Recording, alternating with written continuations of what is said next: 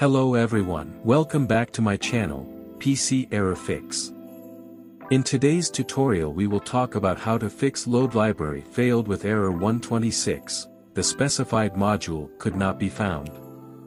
This is a graphic card software error pop-ups while launching games and gaming platforms or installing applications like Adobe Suite Photoshop, BlueStacks, PSP and Rhinoceros 3D etc.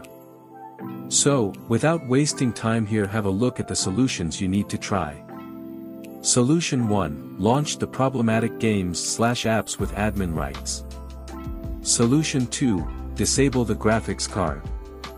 Solution 3, update the ATI graphics card. Solution 4, reinstall GPU drivers.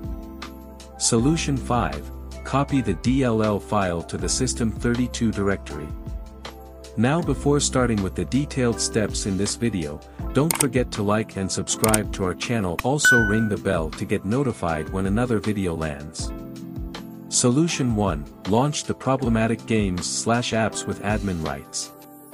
Some programs or games require admin access for accessing the protected system resources, so run the problematic program without admin access. Right-click on the problematic program or game shortcut icon on your desktop and choose Properties. Now click on the Compatibility tab and tick mark the Run this program as an administrator.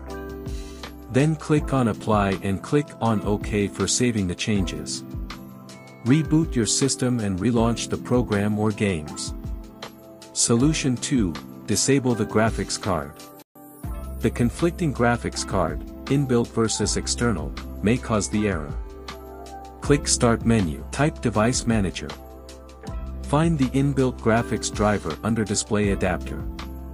Right-click on the same and choose Disable Driver.